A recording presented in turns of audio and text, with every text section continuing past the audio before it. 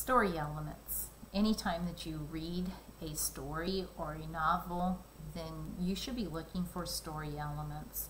Story elements include characters, and those characters would consist of any person or animal in the story. It also should include setting. Setting is where and when the story takes place. Then we have the problem. The problem is an issue or conflict in the story. And then we have the solution, how the problem gets solved. Characters and setting, that's at the beginning of your story. Problem is more in the middle. So we have that rising action where you're introduced to the problem. And then at the top, you have the struggle going on. That's where you can't put the book down. You want to read more. And then we start to the falling action. And on the falling action, we get to the solution or the resolution of the problem.